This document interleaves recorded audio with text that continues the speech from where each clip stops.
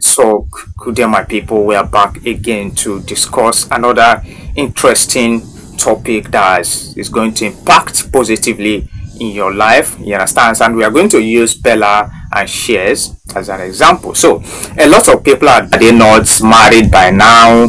We're supposed to see a wedding ring and all that. So, but there's something, you know, that occurred to me. You understand? On a second thought, I say to myself, you know, and when I look at and I see a lot of uh, frustrated wife, you understand, you know, people that are married. Imagine when somebody is married and praying to be single.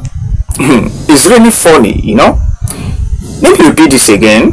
Imagine a married woman, she's married and she's praying to be single again. So, what does that mean? It means that she's sick and tired of that marriage. You understand? So I'm going to use uh, Bella and Chester as an example. You understand? So you know we have talked about any marriage. You understand? So when you go to church, you know, let me just say 95% of women in the church, you know, they are praying for a husband. You understand? When men are praying for money, that is just the truth there. So, but when praying for a husband, issue there are some certain things you have to put into consideration. You understand? It's not just about I want to get married.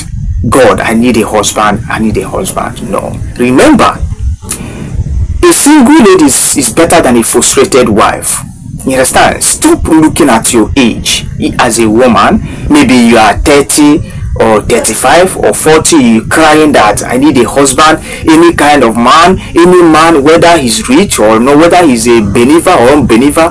No, let me tell you, your age doesn't matter when it comes to marriage. You understand?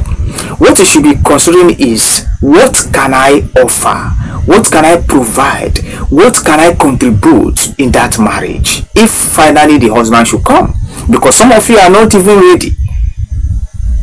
You are not ready when you are praying to have a husband. So if the husband should come, what are you going to provide as a woman? That is why some men will end up treating you like a trash because you are only there to receiving, you are not adding. And men sometimes, in fact, 90% of men add hate stress. A woman that always receiving, not adding. This is just the truth. You understand? First of all, before you can, you know, say I need a husband, there are some things you need to know. There are some questions you need to ask yourself am I well established as a woman? I'm sure some of you don't really ask about this. Somebody have asked question and said that I don't have a work. I'm married to a rich man. This man is a politician and uh, I don't work. I'm just at home and the man doesn't have respect for me. And she asked me why. I told her the truth. Because you are jobless. Yes. Because you don't work. The fact that your husband has money doesn't mean that you should not go out and work. Even if you are you know you just to go and sell biscuit in the morning you go out in the evening you come out your husband will vary. She will respect you. He will respect you. Yes. This question came from uh, uh, this, the question came from uh, from uh, canada. Yes. Yes yeah from canada. Yeah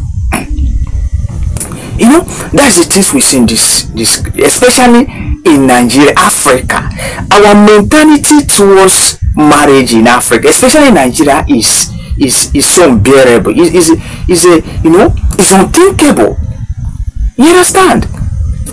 How can you be praying for a husband, but when you look at it, you don't even have a handwork. You don't even you know you don't even, I don't know.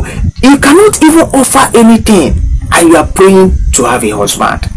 Your age doesn't matter. See, let me tell you. Do you know that a 21 years old girl can get married as long as she's established even a 19 years old girl can still get married it's not about you know knowing what you can offer to that marriage so because tomorrow you tomorrow is not promised something might happen to your husband and uh, if you are not if you are not doing anything how do you think that you are going to take care of the, the, the children yes tomorrow is not promised you cannot be sure of tomorrow. It is, death is inevitable. It can come anytime. No matter how careful you think you are, it can come. So that's why you need to prepare yourself. so back to what we are talking about so i want to encourage you as a woman out there who have been looking for husband and all that stop stressing yourself all in the name of i want a husband i want to look at bella and Sheggz. A lot of people have been pressurizing them you know why is it that Sheggz is not you people are not yet get married and all that. So and uh, there's something bella posted long time ago you understand? So I, I can't really remember the post but let me just try it if i can you know figure it out. She said that uh, she's not in a hurry to get married and all that. And i think i picked a point there. You understand she's not even bothered she just focus in her brand you know you know uh, trying to you know make a name for herself. See let me tell you when your time comes definitely you get married. Stop looking at your age whether you are 40 50 55 it doesn't matter. When your own marriage will come it will be as if no marriage has ever been done. Your own marriage will be the talk of town. All you need to do focus on you know establishing yourself. First work on your character work on your attitude work on your financial life work on every area of your life. Get prepared. In fact uh, i went to man said when a preparation meets with success it it will result to something very very very you know very nice you understand? When you prepare yourself and the opportunity comes it will result to success. Imagine that you are prepared now and the husband comes. Definitely when you jump into the marriage trust me your marriage is going to be a successful one. But when you are not prepared and the husband comes no. Hmm. definitely you get married but what are you going to offer? That is the question you know someone said to me uh, uh, i'm is it 35 years and uh, i'm having a heartbreak and all that uh, any man that comes close to me the person will disappoint me and all that. She said she's trying to you know she's trying to turn into a spiritual problem. Some things are not spiritual. You know some people stop running to church you are looking for a husband. Some things are not spiritual. There are some certain things we have to deal with our common sense you understand? Yes they are coming close to you and they are, they are disappointing and all that. I asked the woman the the girl what do you do for a living? She said uh, uh, after my secondary school uh, uh there's no money to further in fact i'm not doing anything. I said, you are not doing anything and you expect a man to stay with you. She told me no one pastor told her that she has a, a, a spiritual problem, a spiritual husband, and that's why she's experiencing uh, disappointment. I told her, Are you okay? Are you normal? Are you talking with your right senses? You know, no, any any responsible man will not like to stay with you because you are just going to that marriage to to give him more stress because you don't have anything doing she said no no i have a spiritual and i said no it's, it's better you start working on all these things. Look for something and start doing. Get busy. And when the man will see that you are busy you are responsible you are focused the man will put more attention towards you. Because any man that comes to you will find out that you are not doing it. You are just receiving. Maybe you are just asking them for money every time money for this money for that. You know and they will tell you is when they will make their decision and say no i cannot marry this person because even if i should end up marrying you you are just coming to my house to be debiting my bank account you are not crediting. And men hate it when a woman always debiting they are not crediting. Hmm. You understand? Don't look at your age. Age doesn't matter. Work on yourself first.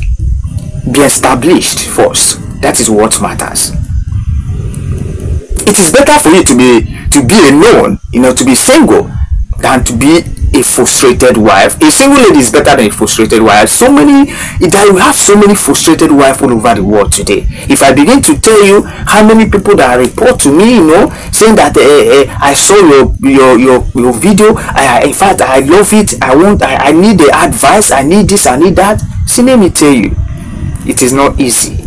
You understand? It is not easy. So, marriage is a journey that before you travel, you need to ask those who have traveled to know what the journey is all about. You don't just sleep and wake up and say, I want to get married, I want to get, I want to do this, I want to do that. Like I said, your age doesn't matter. Even if you are 20, you can still get married. But the question is, are you established? That is the question. Love is not enough to keep your marriage. Let me tell you this. We are going to treat this maybe in our next topic, but let me just you a little of it. Love cannot keep your marriage.